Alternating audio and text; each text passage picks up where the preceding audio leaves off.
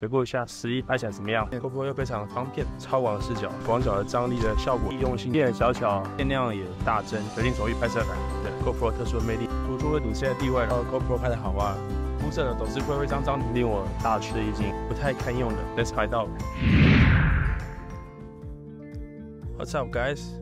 之前呢，最早接触 GoPro 的时候呢，是使用 GoPro Six。当时呢，对 GoPro 觉得说它的画质呢，其实是不太堪用的。在想要拍摄电影级画面，GoPro 画面充满杂讯啊，以及广角变形的那种疑虑。可是呢，在很多方面，GoPro 又非常方便，也逐渐的成为在拍摄影片的时候备选的器材之一。升级到了 GoPro 十一之后，不止它的参数上以及它的画质上呢有了些比较明显的进步之外，它的整个易用性、轻便的体积，而且又坚固的造型，重新用起 GoPro 又再度体验到了很多人非常热爱的 GoPro 特殊的魅力呢。这次呢，使用了史比特的颜色，相信在调色上呢，也会让层次过渡的细腻度呢，能够有明显的提升。GoPro 在使用的时候有很多种不同的穿戴设备啊，跟接环、夹具等。不过我觉得它用起来呢，还是使用一根自拍棒作为直觉方便。GoPro 拍照其实有点像使用 iPhone 感觉，就是非常简单易用，没有多余太过复杂的设定啊，或是很多细节需要担心。整机拿起来直接防抖啊、曝光拍摄也不用对焦，都帮你处理好。虽然说画质没有到非常顶级，这是什么菜？但是应该还够用吧？你觉得呢？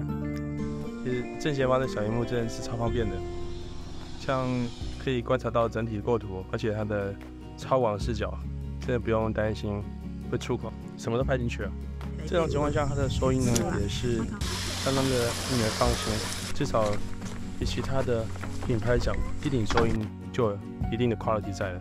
使用 GoPro 拍，一开始我就觉得很难掌控它的画面。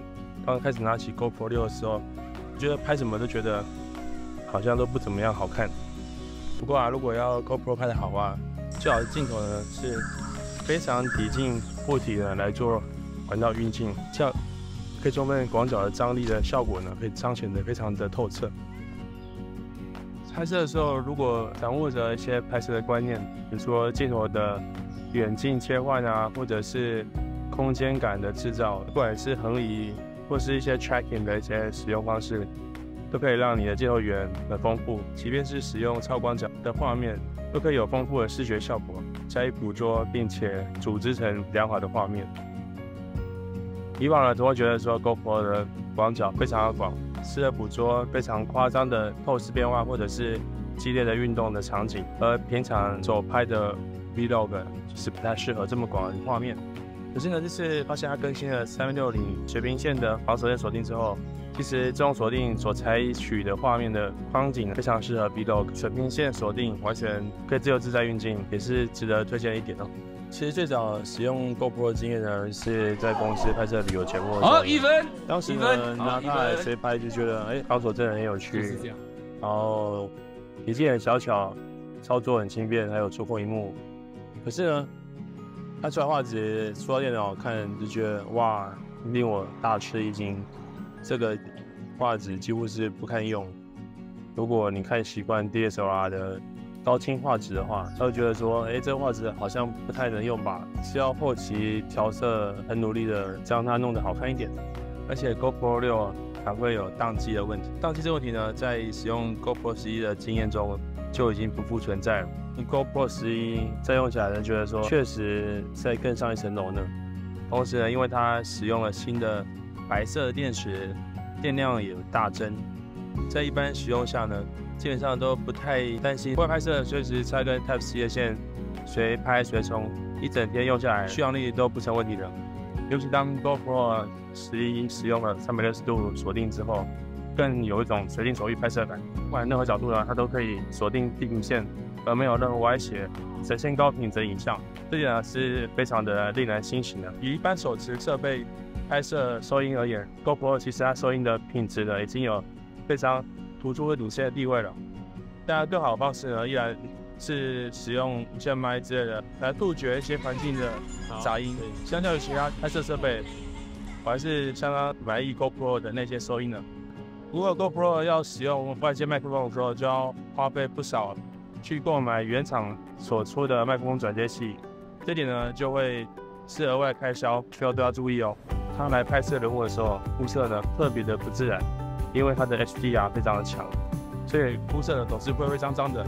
但拍完之后，总是还要进后期剪接成影片的时候，后置要加强对比、加深暗部等等的处理之后，才能够让肤色比较接近肉眼所见的感觉。大量的杂讯处理的涂抹，其实并不会特别让人印象深刻的。在 GoPro 的素材运用上呢，会有一个痛点：使用手机拍出来的不仅稳定度也是非常高，而且使用手机拍出来档案会小很多。不管是四 K、六十、一零八零等等，都是小很多。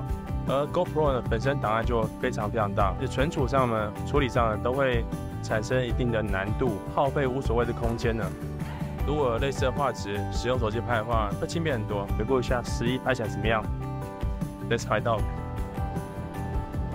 破了几片玻璃的空隙，来到台北车站，这边呢非常的宽阔的中庭，刚好可以发挥一下 GoPro。非常超广角的镜头张力，基本上你手持拍摄无难度的可以容纳出非常广阔的背景，而让你的叙事更加的完整。这是现在使用 Vlog 拍法的时候所需要的资讯量，就可以利用 GoPro 来捕捉。轻按一下拍记录的 GoPro 非常的轻便，即便是现在使用手机，比如说 iPhone 14 Pro 的画质也是更加优越，但是 GoPro 它的耐候性。及易用性呢，依然可以在拍摄的时候提供不少的帮助。同时呢，因为它的体积比较小，所以拿起来呢也会比较不会那么引人注目，而更让人放心的拍摄，或者是被拍的人也会更加的比较没有心防。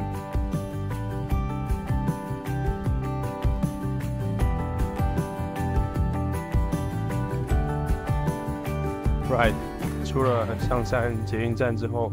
从二号出口出来呢，就沿着公园的指示呢，我们就可以前往象山步道了。接着我看到这个上坡，我们就沿着上坡走上去吧。寿山峰右巨石是寿山象山。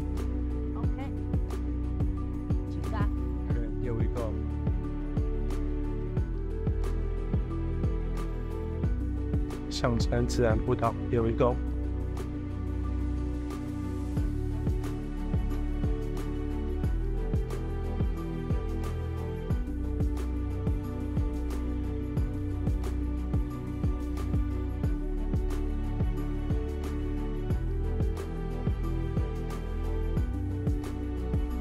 我们选择，往，寿山峰，又有巨石，Go Go，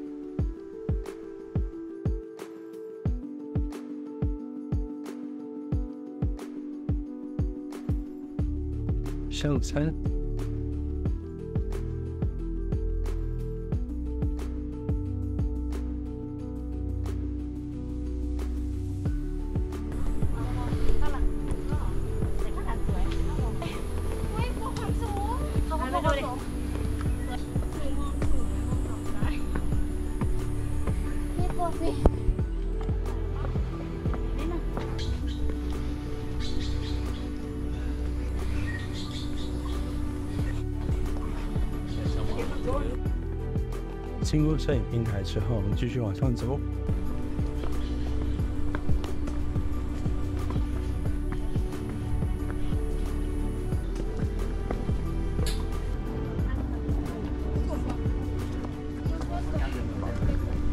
OK，飞来六巨石。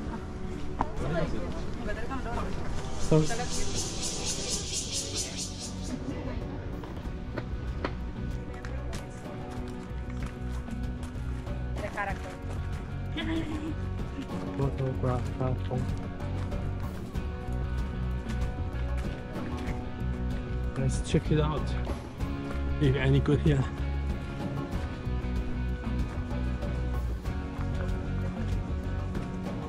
It's well built. What?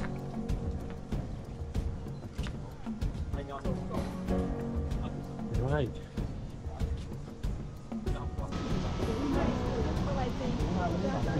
你啊你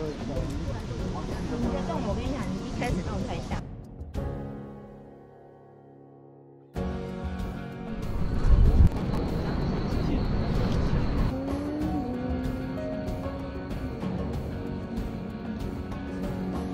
不然这是著名的象山用巨石的拍摄景点在这种拍摄啊如果使用 GoPro 十一，可以拍摄非常壮阔景色，即便是细节可能不尽人意，但是很快的宽景的气势，将我们双目触及的整个空间都记录下来。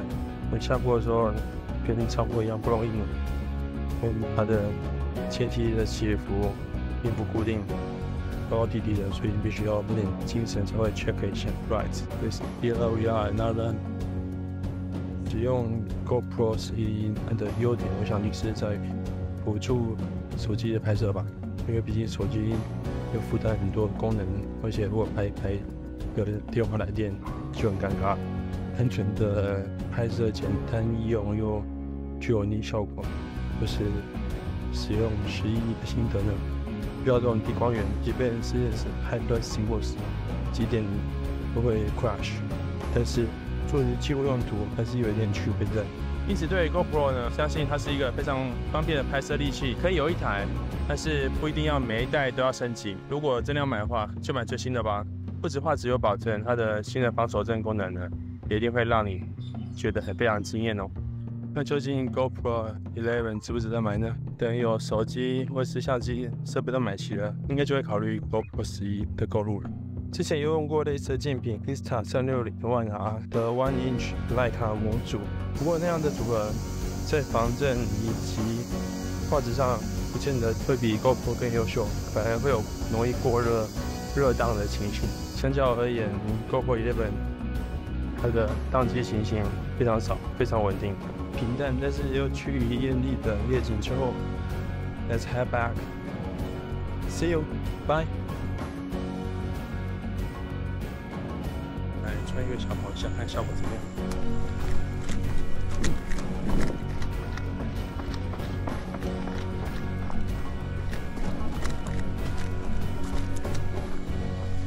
缠到蜘蛛丝